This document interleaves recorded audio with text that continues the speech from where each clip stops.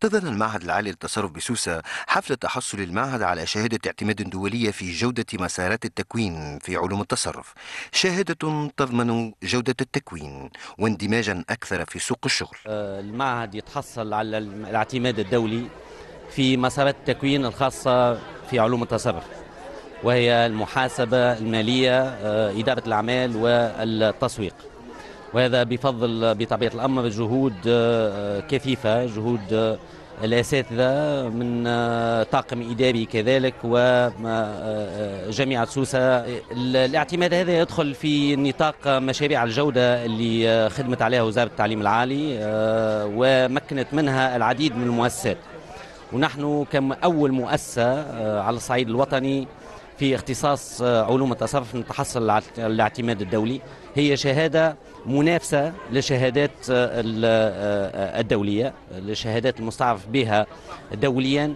وأبنائنا بإذن الله مش يكون عندهم حظوظ أوفر. في سوق الشغل إن سواء في على الصعيد الوطني أو الصعيد العالمي. تطلب الحصول على شهادة الاعتماد الدولية عملا مضنيا لفريق أكاديمي متكامل على مدى سنتين للاستجابة لدليل الإجراءات وشروط ضمان الجودة التعليم في المؤسسة.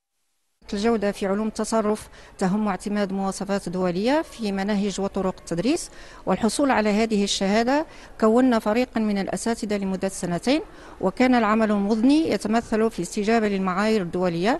والحمد لله تحصلنا على هذه الشهادة من الهيئة العليا للتعليم والبحث العلمي السيارات الأوروبية.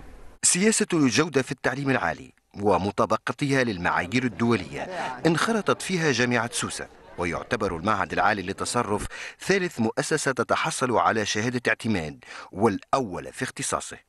هذا معناها فخر لجميع سوسة إن شاء الله ومنجم يكون كان معناه إشعاع إشعاع على الصعيد الوطني وعلى الصعيد الدولي خاطر الاعتماد هذا اعتماد دولي. من شأنه أن يعرف أكثر بالمعهد العالي للتصرف بسوسة وكيف كيف هذا يأمن يأمن مستقبل كبير لطلبتها خاطر إحراز الاعتماد يعطي معناه جودة دليل على جودة التعليم القاعدة تعطي فيه المعهد وذلك كل كيما يرفع في المستوى الجامعات نتاعنا على الصعيد العالمي. نجم نقول معناه بالتحصل على الاعتماد هذا جميع سوسة تولي تكون معروفة على الصعيد العالمي. الجودة في التكوين الأكاديمي ومطابقته للمعايير الدولية. باب لإشعاع الجامعة التونسية. والتكوين المتميز يسهل الاندماج في سوق الشغل.